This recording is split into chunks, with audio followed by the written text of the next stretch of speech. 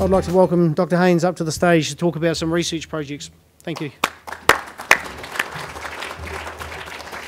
Thanks very much, Rhys, and uh, good afternoon. It's a great pleasure to be here to actually talk to you this afternoon and present a little bit of information on some of the, I think, really exciting research that VARNZ has been conducting in the area of immune function. And uh, we're all aware of how important that is. So, what I'll do is briefly just cover a little bit of background, but then we've also heard a lot about peptides and proteins uh, this morning, particularly. And I'd just like to actually cover exactly what these are because they feature a lot in my talk as well. After that, I'd like to discuss a, a project that we have already completed in this area of immune function and then lead on to um, our current project, which is underway right at this minute, and then just summarise at the end with some, uh, hopefully, some future prospects. So, Really, bioactives have been of great interest to us ever since the start of the Velvet Research Program um, down at Invermay in the 80, in the 90s. And uh, we and other scientists around the world have managed to actually identify a great number of active components in the deer velvet, including things like growth factors, lipids, carbohydrates, and small organic molecules. However, really none of those have been convincingly linked as a direct cause of, uh, of some sort of activity that is of real consumer interest and would generate some consumer enthusiasm for deer velvet. And also, really, very little has been known about the peptides in deer velvet. And largely, this was because of uh, deficiencies in the technology available to us. We just didn't have the, the technology to really get into peptides because of their complexity, as I'll um, lead on to in a, in a slide or two. However, as in all things, technology has moved forward hugely in the laboratory, and we now have available some really powerful mass spectrometers, such as this instrument here, which we have, this is one of our instruments from our laboratory at Lincoln. Mass spectrometers nowadays are able to identify components in complex mixtures, thousands in, in a matter of hours. They're, they're really incredibly powerful things. But the other bit of technology that's been critically important is the development of very high speed computing power. Um, these mass spectrometers generate ginormous amounts of information, and we have to have the means to actually deal with that with very powerful computers. And as everyone I think, is aware, we now have basically more computing power sitting on our own desks at home uh, compared to what was in the back rooms of, of computer centres um, not, not so long ago, actually. It would take a whole room to give the same power as one of these things. So that's been a, a real advance. Now, I'll just give a little bit of background to proteins and peptides so we, we know exactly what we're dealing with. Proteins are really perhaps the most important component in, in your body in terms of uh, structural functions and also um, carrying out body processes. And they're produced uh, based on a blueprint of our, in our genes using the DNA to code for the structure of the protein. And most of the material in, in our tissues, excuse me, is, is protein. So even a, a bony tissue such as deer velvet has about 60% protein in it. But proteins and peptides are actually just quite simple polymers built up of building blocks called amino acids, of which there are about, excuse me, not sure how that's gone so far, of which there are 20 commonly found in nature. When they're built up together into small chains, we get peptides, um, where this is an example we've got four amino acids joined together, valine, glycine, serine, and alanine in, in different colours here. So that's a, that's a peptide. Basically, a protein is just a, a big peptide. It's got hundreds or perhaps thousands of amino acids joined together end to end in a long chain. And it's important to recognise that we can actually produce peptides from proteins by chopping up that chain in specific places and enzymes are, are really good things for doing that. But as you can imagine, if you've got 20 possible amino acids at every one of these positions in a peptide or a protein, there's an absolutely ginormous number of possible structures that are basically quite similar but just varying in, the, in these chains. And that's quite difficult in terms of analysing and identifying peptides and proteins in some proteins.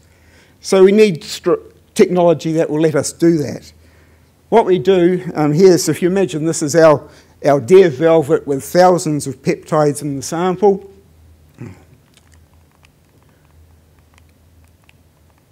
Sorry, I have a problem with my thumb. Um,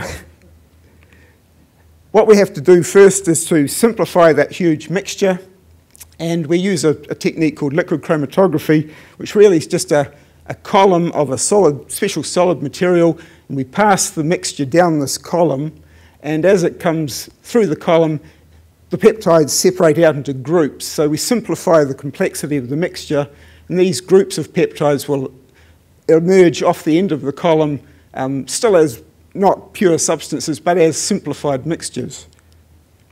The next thing to do then is to, as they're coming off the, the column, is to feed them into our mass spectrometer, and that will just generate as many mass spectra, which is something that you see like this, for each, each one of those peptides, or as many of those peptides as possible as they're separated off. And so there'll be thousands of these, of these mass spectra generated which we then feed into our computer and search against a, a protein database to find patterns that match this fingerprint.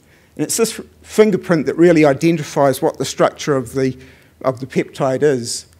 So at the end of that process, in a single run, we'll typically identify hundreds of peptides out of our original mixture. My thumb is going in places it shouldn't go. So that's the technology that really lets us make advances here. So just come on to the, um, the project that we've already completed. And as I mentioned, this is in the area of immune function. And so really there's been a, a tremendous belief in Asian company, countries about the power of deer velvet to boost the immune system, similar to, to ginseng. And I mean, that's shown by the fact that many uh, people in, in Korea and in China will take velvet before winter just to build up the immune system and, and ward off any flus and infections.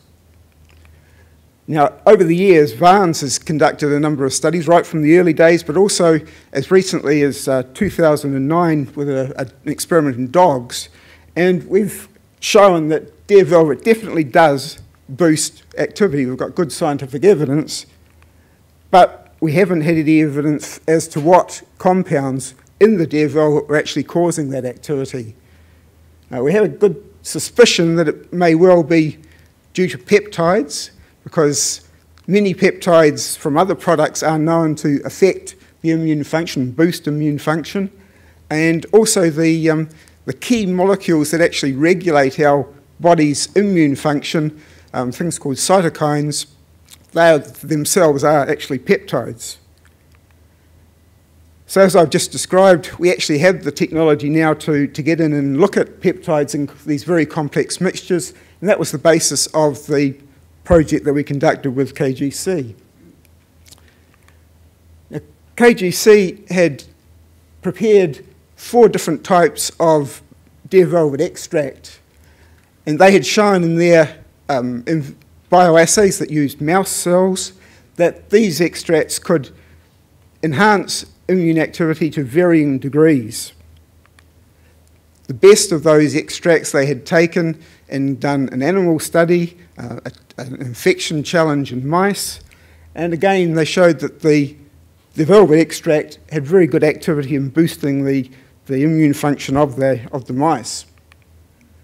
Now, because of the really good relationship that uh, Rhys Griffiths, particularly, and DINZ executive have built up with KGC, um, and that trusting relationship between the two organisations, KGC provided us with 17 samples of their um, various velvet extracts, But most importantly, they also provided all of the, the bioassay information about how the extracts affected immune function. And our aim was then to take that information and try and go and, and look for the peptides that we thought uh, could be responsible for the activity.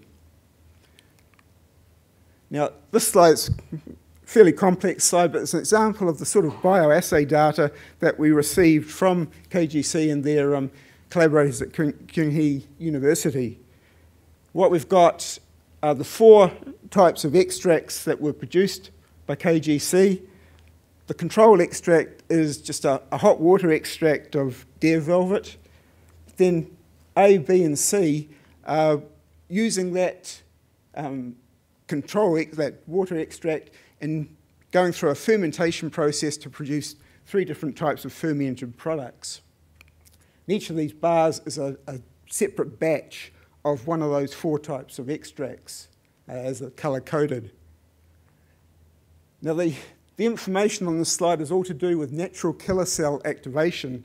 Now, natural killer cells are a really important cell type that's involved in, in our immune response and these cells are uh, responsible for protecting us against, uh, during the early stages of an infection, before we have any antibodies to, say, a, a bug.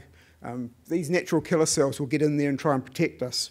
So if we can activate those cells, we're having a, a positive effect on the immune system. And you can see that the control hot water extract and also extract B had a very low activity at uh, activating natural killer cells. C was sort of intermediate, but extract A had very good activity across all the batches that, uh, that they produced. So that was just one set of data. We were provided with a good number of um, different bioassay set uh, information. And what we had to do then was to, as a first step, was to categorize the activity of those four extracts in each of the bioassays. So this is a, just an example of the information where I've categorized that uh, natural killer cell activation information from the previous slide, and also information from an assay that was looking at anti-inflammatory effects of the extracts, and uh, again categorise those. And this column, which is the measure, is just the, the actual molecule that was measured by KGC's collaborators to as an indicator of the response of the mouse cells to the extract. Um, and these four here are actually, as I said, they're cytokines, they're peptides.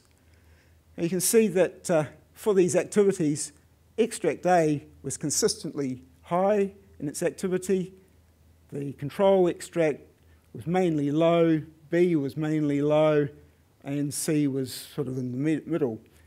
So for us to try and identify the peptides that were responsible for the high activity of, of extract A, the best way for us to do that was to compare its, all of its peptides with all of the peptides in the, the low activity samples. In other words, to compare A to the control sample and also to compare extract A to the um, extract B. So this is looking at comparison of all the peptides in both of those samples um, directly together. The results of that process was that we've identified 20 peptides that were more than twice as concentrated in the, the highly, extract, highly active extract A compared to the two low activity or lower activity extracts. And of those, one was a very simple peptide, and it was over seven times more active in uh, abundant, sorry, in extract A than in the control extract, and at the same time, it was over three times more concentrated in extract A than in, in another of the low activity extracts. So that definitely correlated strongly with activity. Of the, of the, 20, of the 28 were actually fragments of a single abundant deer protein. So that protein had been chopped up into short, shorter pieces. That particular protein in other species is known to produce fragments that are bioactive. Um, for example, antimicrobial activity has been um, quite uh, strongly recognised. But in none of the information I've seen has a, an ability to boost immune function been mentioned for the peptides from the same protein from other species. Uh, very recently, though, a Chinese group did report that a longer fragment than we saw from this protein does have immune function. So it's from our results, I think there's a very good possibility that the eight fragments that we are seeing elevated in the, the active in the active extract, that they could also have immune boosting um, capability. Uh, in themselves, these results were useful or could be used as uh, for markers for immune activity, but they're not necessarily the active ingredients. I'll emphasize that at this stage. But what they do is give us a, a, tremendous springboard for further research to actually try and find those active or prove which ones are active, which is what the current project is all about. So, in the current project, we have two objectives that uh, we're working on. The first is to investigate the activity of that very simple peptide that I mentioned. And it's so simple that we were able to have it synthesized as a pure um, synthetic peptide rather than try and isolate it. What we're doing is adding that peptide to two different types of human um, cells now, and both of these cell types are involved in when you ingest a product and it has an effect on your, your immune system, these two cell types are cells that will be involved in um, eliciting that response. In one of those cell types, we will measure the uptake of the, the simple peptide actually inside into the cell, internalization of it, um, and that in itself is a, a strong indicator of um, immune boosting functionality. But with both of those cell types, we'll also measure the levels of immune function regulators or cytokines that are released by the cell types once we add the peptide to them. And again, the levels of those um, cytokines that are produced in response to our peptide will be very good indications of how active it is. So that's objective one. Objective two is really following up on the information about that protein where we saw fragments that were correlated with strong activity. What we want to try and do is confirm that the fragments we saw are active and see if there are any others. And we're going to do that by first purifying the deer protein and then use enzymes to chop it up. As I said, you can chop a protein up with enzymes into peptides. So we'll produce a, a mixture of peptides from our purified protein. We'll then use that liquid chromatography that I mentioned to separate our mixture of peptides into uh, close to purity or, or, as pure as we can go initially. And then by adding them to our cells and from objective one, we can measure whether they're active as uh, immune for boosting immune function. And we can do a, a iterative process to come down to the individual peptides that have the activity and discard the others. The final step will be using our mass spectrometry technology to actually identify the sequence of our active peptides. Now, what does all this mean? Okay, so we've already identified peptides that are correlated with immune activity. And we know they're in deer velvet extract without fermentation. It's not um, limited to, to KGC's extracts. And we know that a, one of, one of those, a, a very simple peptide and also fragments of a protein, could be the active ingredients. If we can show that that actually is the case and identify those and perhaps other active peptides for boosting immune function, And that's going to be a real nuisance. A real help to um, support product development, um, particularly we, are to develop QC assays that would let us standardize a product for immune function, for example, or to guide the uh, development of a product. But most importantly, really, it, this is the sort of information, the, the identity of your active ingredients is required if you're wanting to register a product as a healthy functional food in either China or Korea. So if we are able to, to provide that information to the industry, then that, and they provide to their partners working in, in Korea and China, then that will then enable hopefully a registration of velvet product as a functional food, getting into the food marketing chain, and as I'm sure you're going to hear from Rhys in, in detail now, how important that could be for the industry. Um, really, I think the sky could be the limit. So it just remains for me to thank the people both here in, in New Zealand and uh, recognise the contributions from our Korean colleagues um, in making all of this research possible. Um, VARNZ for, for funding, also AgResearch for funding, and thank you for your attention.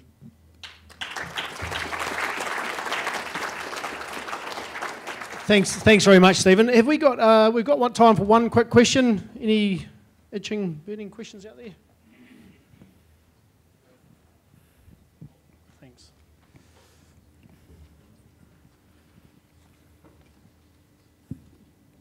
Yeah, over the years, we've spent uh, a huge amount of money on velvet research. When do we start seeing a dollar return to the farmer? The, um, one of the things that has soaked up a lot of industry money and a lot of government money was the, uh, the RepairX wound healing project.